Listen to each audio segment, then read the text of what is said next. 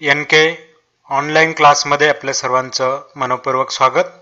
मित्रांनो व्हिडिओ आवडल्यास channel subscribe करा आणि बाजूला असणाऱ्या बेल आयकॉनवरती क्लिक करा. आपण इयत्ता बारावी अर्थशास्त्रामधील प्रकरण दहा पैसा या प्रकरणावरती आत्तापर्यंत एच एस सी बोर्डाच्या परीक्षेत दोन हजार चौदापासून ते दोन हजार एकोणावीसपर्यंत कोणत्या प्रश्नांचा विचार करण्यात आला किंवा कोणते प्रश्न विचारण्यात आले या संदर्भातील अभ्यास करणार आहोत.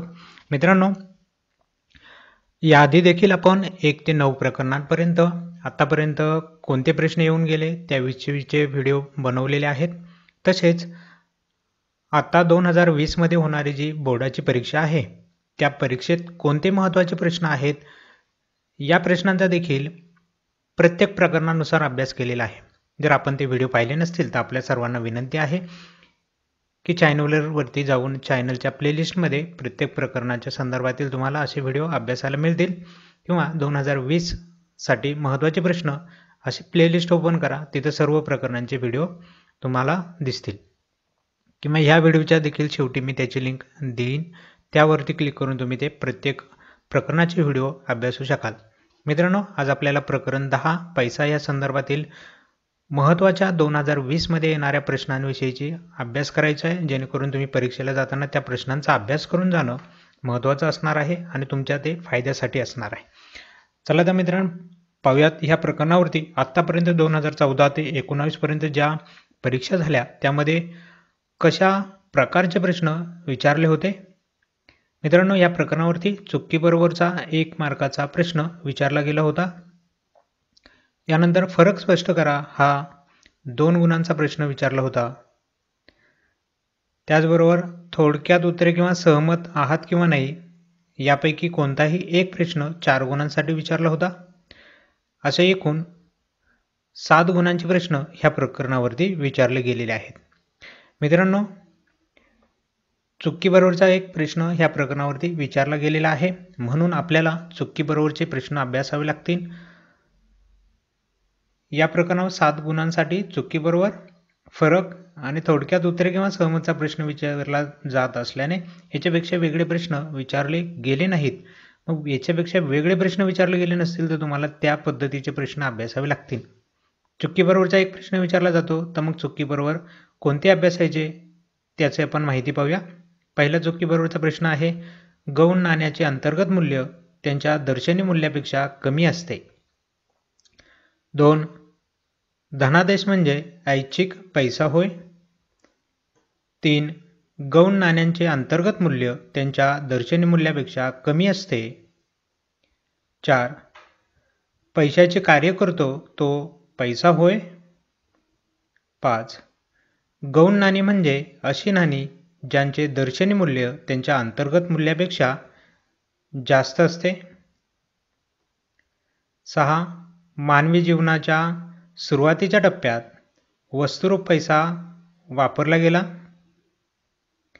सात पैशामुळे राष्ट्रीय उत्पन्नाचे मापन करणे शक्य होते. पहा मित्रांनो या ठिकाणी मी सहा सात वाक्य चुकीबरोबरची दिलेली आहेत. हे व्यवस्थित तुम्ही समजून घ्या त्याची उत्तरं शोधा आणि ते पाठ करून जा त्याची माहिती पाहून जा. याच्या व्यतिरिक्तही तुम्हाला एखादं असं वाक्य वाटलं की हे येऊ शकतं तर त्याचाही अभ्यास करून जा. म्हणजे जेव्हा चुकीबरोबरचं एक विधान ह्या प्रकरणावरती विचारलं जाईल तर तुम्ही सहज त्याचं उत्तर लिहू शकाल. यानंतर मित्रांनो पुढचा प्रश्न प्रश्न तीन अ फरक स्पष्ट करा. हा देखील महत्त्वाचा प्रश्न आहे कारण आत्तापर्यंत दरवर्षीच्या परीक्षेत एक फरक ह्या प्रकरणावरती विचारला गेलेलाच आहे. मग कोणते फरक तुम्ही अभ्यासून गेले पाहिजेत? एक पहिला फरक आहे विधिग्राह्य पैसा आणि अविधिग्राह्य पैसा. दोन परिवर्तनीय कागदी चलन व अपरिवर्तनीय कागदी चलन. तीन परिवर्तनीय कागदी पैसा व अपरिवर्तनीय कागदी पैसा. चार प्रामाणित नाणी व गौण नाणी. पाच कागदी पैसा व धातूची नाणी. आणि सहा विधिग्राह्य पैसा आणि पत पैसा. हा मित्रांनो सहा सहा सहा फरक आपण ह्या ठिकाणी विचारात घेतलेत. हे फरक पाहून जा यांची उत्तरं पाहून जा. हे फरक आणि त्याचे मुद्दे लक्षात ठेवा. जर फरक ह्या प्रकरणावरती दरवर्षी विचारला जात असेल तर यावर्षीच्या परीक्षेत देखील एक फरक येणार आहे. मग फरक येणार असेल तर आपल्याला त्या फरकाची माहिती अभ्यासून गेल्यानंतर प्रश्न लिहायला सोपा जाईल. म्हणून सहा फरक दिले सहा फरक तुमचे व्यवस्थित पाठ असणं गरजेचं आहे. या व्यतिरिक्तही तुम्हाला जर वाटला की दुसरा एखादा फरक मला वाटतोय की महत्त्वाचा आहे तर त्याचाही अभ्यास करायला काही हरकत नाही. पण हे महत्त्वाचेच प्रश्न आहेत ह्याच्या व्यतिरिक्त प्रश्न नाही केले तरी चालू शकेल. प्रश्न चौथा थोडक्यात उत्तर लिहा. मित्रांनो मी सुरुवातीला सांगितलं तुम्हाला की चार मार्काचा एक थोडक्यात उत्तरांचा प्रश्न किंवा मग सहमतचा प्रश्न विचारला जातो. थोडक्याचा प्रश्न विचारला तर सहमतचा विचारला जाणार नाही. सहमतचा विचारला तर थोडक्यात उत्तराचं येणार नाही. दोघांपैकी कुठला तरी एक प्रश्न विचारला जाणार आहे. मग आता कोणता प्रश्न येईल हे आता आपण फिक्स सांगू शकत नाही. म्हणून थोडक्यात उत्तरामध्ये काही प्रश्न मी सांगतोय. ते महत्त्वाचे आहेत. ते करून जा. आणि सहमतचे बी काही प्रश्न आपण पाहूयात. जेणेकरून त्यावरती जरी प्रश्न विचारला तरी आपण ते प्रश्न अभ्यासून जाऊ शकतो. मित्रांनो थोडक्यात उत्तरामध्ये मी पहिला प्रश्न अभ्यास करायला सांगतोय तो म्हणजे पैसा काही आकस्मिक कार्य करतो. म्हणजे पैशाच्या कार्याच्या संदर्भातला प्रश्न आहे. आकस्मिक कार्य म्हणतील पैशाचे प्राथमिक कार्य म्हणतील पैशाचे दुय्यम कार्य म्हणतील. कुठलाही प्रश्न आला तरी पैशाचे कार्य तुम्ही अभ्यासून ठेवा. प्रश्न कसा येऊ द्या? कुठे येऊ द्या? तुम्ही उत्तरं लिहू शकाल. पर्टिक्युलर एक कार्य विचारलं तर त्याचीच माहिती सांगा. आणि कुठल्या कार्याचा उल्लेख नाही केला तर सर्व कार्य सांगावे लागतील. दुसरा पैशाची दुय्यम कार्य स्पष्ट करा. मित्र मी आधीच सांगितले पैशाची कोणतेही कार्य विचारले जाऊ शकतात. आपण सेपरेट करून या ठिकाणी कार्य विचारात घेतले. तिसरा प्रश्न आहे पैशाचे विविध प्रकार स्पष्ट करा. अशा पद्धतीने मित्रांनो थोडक्यात उत्तरे त्यामध्ये. हे तीन प्रश्न महत्त्वाचे प्रश्न आहेत. यांचा अभ्यास जर असेल तर मला वाटत नाही की याच्यापेक्षा वेगळा प्रश्न ह्या प्रकरणावरती तुम्हाला विचारला जाऊ शकेल. हेच महत्त्वाचे प्रश्न आहेत. यानंतर जर थोडक्यात उत्तराचा प्रश्न नाही आला तर चार गुणांसाठी मग सहमत आहात किंवा नाही मध्ये एक विधान ह्या प्रकरणावरती विचारलं जातं. मग कोणते विधानं तुम्ही करून गेले पाहिजेत? एक पैसा विविध कार्य करतो. दोन सार्वत्रिक स्वीकार्यता हा चांगल्या पैशाचा एकमेव गुण आहे. तीन वस्तुविनिमय पद्धतीत अनेक अडचणी होत्या. त्यावेळेस नव्हत्या म्हणतील. व्यवस्थित वाक्य समजून घ्या. सहमतचा प्रश्न आहे. चार कागदी चलनापेक्षा धातूची नाणी वापरणे सोयीस्कर असते. पाच. कोणतीही वस्तू पैसा म्हणून स्वीकारली जाऊ शकते. अशा पद्धतीने मित्रांनो सहमतमध्ये मी पाच विधानं आणि थोडक्यात उत्तरामध्ये तीन विधानं दिलेली आहेत. यांचा अभ्यास करून जा. यांच्यापैकीच कुठला तरी एक प्रश्न हमखास तुमच्या परीक्षेमध्ये असणार आहे. मित्रांनो हे प्रश्न मी पर्टिक्युलर अभ्यास करून महत्त्वाचे प्रश्न म्हणून विचारात घेतलेत आणि ते तुम्हाला सांगितलेले आहेत.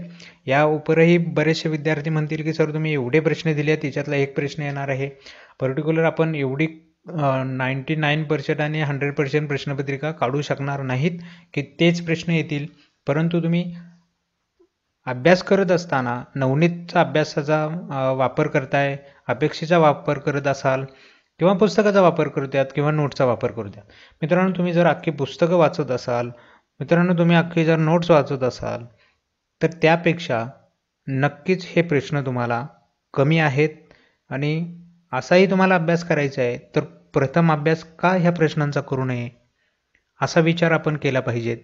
या व्यतिरिक्त काही विद्यार्थी असे पण विचार करणारे असतील की एवढे सगळे प्रश्न दिल्यानंतर नक्कीच याच्यातले प्रश्न येऊ शकतील. पण असं नाही मित्रांनो. अभ्यास तर ज्याला मार्क पाडायचे तो भरपूर अभ्यास करतो सतत सतत मुद्दे वाचत असतो पॉईंट अभ्यासत असतो पण कोणते प्रश्न करून जायचे हे त्याला समजत नाही. अशा विद्यार्थ्यांना नक्कीच ही गाईडलाईन्स आहे. कुठल्या प्रश्नांचा अभ्यास करायचा कुठले घटक महत्त्वाचे आहेत हे याच्यातून लक्षात येतं. आणि नाही शंभर टक्के परंतु सत्तर ऐंशी टक्के तर प्रश्नपत्रिका मी सांगतो ह्या दिलेल्या प्रश्नपत्रिका च्या व्ही आय एम पी जे आपण व्हिडिओ बनवलेले आहेत त्याच्यामध्ये असणारच आहे सत्तर ते ऐंशी टक्के प्रश्न ह्या प्रश्नांमधलेच असणार आहेत. मग तुम्ही सत्तर ऐंशी टक्के जर प्रश्न सोडू शकला तर नक्कीच तुमचे स्कोरिंग ह्या प्रश्नांमुळं वाढू शकणार आहे. मित्रांनो प्रश्न सांगितलेत म्हणून त्याचा अभ्यास करून जायला काही हरकत नाही. माझं एक सरळ प्रामाणिक मत आहे. त्याच्यावर चर्चा करून त्याच्याकडे दुर्लक्ष करूनही चालणार नाही. याच्यासाठी मी पुरावे देखील तुम्हाला दिलेले आहेत. पाठीमागच्या चौदापासून जे आत्तापर्यंत मार्च परीक्षेत कोणते प्रश्न विचारले याची आपण व्हिडिओ आधी बनवतो. त्यानंतर त्या प्रश्न प्रकरणावरती कोणते महत्त्वाचे प्रश्न आहे असे व्हिडिओ बनवते. मग तुम्ही दोन्ही व्हिडिओ जर अभ्यासले तर तुमच्या लक्षात येईल मी जी गोष्ट सांगतोय तुम्हाला किंवा हे प्रश्न सांगतोय याच्या पाठीमागं लॉजिक आहे याच्या पाठीमागं काहीतरी तथ्य आहे त्याचा विचार करूनच आपण हे व्हिडिओ बनवलेले आहेत. जास्त विचार न करता उगाच काहीतरी मनामध्ये विचार घेऊन निगेटिव्ह सोचण्यापेक्षा पॉझिटिव्ह सोचा. पॉझिटिव्ह विचार करा आणि ह्या प्रश्नांचा अभ्यास करून जा. याच्या व्यतिरिक्तही तुम्हाला जर महत्त्वाचे दुसरे प्रश्न वाटत असतील तर ते प्रश्न देखील करून जा. त्याचा काही प्रॉब्लेम नाही. अभ्यास केल्यानंतर काय प्रॉब्लेम होणार नाही. एक्स्ट्रा अभ्यास झाल्यानंतरही काही प्रॉब्लेम होणार नाही. परंतु बरेचसे विद्यार्थी असे आहेत की कमी प्रश्न असावेत तेवढ्यांचा अभ्यास करून गेलं तरी आम्ही पास होऊ आम्हाला चांगले मार्क मिळतील. अशा विद्यार्थ्यांसाठी तर बेस्ट आहे. तुम्ही जास्त विचार करत बसू नका जास्त लॉजिक करू लावत बसू नका. जे लॉजिक लावायचं जे विचार करायचे ते मी केलेले आहेत आणि त्याच्या आधारेच तुम्हाला प्रश्न सांगितलेले आहेत. ठीक आहे मित्रांनो जास्त काही त्याच्यावरती चर्चा आपण आता करत नाही. आजच्या व्हिडिओमध्ये पैसा या प्रकरणाच्या संदर्भातील कोणत्या महत्त्वाच्या प्रश्नांचा अभ्यास करायचा हे आपल्याला इथं लक्षात आले असेल. चुकीबरोबरचा एक प्रश्न फरक एक प्रश्न. थोडक्यात उत्तरे किंवा सहमतचा एक प्रश्न असे सात गुणांचे प्रश्न या प्रकरणावरती महत्त्वाचे आहेत. म्हणून त्यांचा अभ्यास करून जा आणि चांगले गुण मिळवा. ठीक आहे मित्रांनो? आजचा व्हिडिओ या ठिकाणी थांबवतो आहे भेटूया आपल्या पुढच्या नवीन व्हिडिओमध्ये. अशाच एका प्रकरणाच्या संदर्भातील महत्त्वाच्या व्ही आय एम पी क्वेश्चनची माहिती घेऊन तोपर्यंत नमस्कार.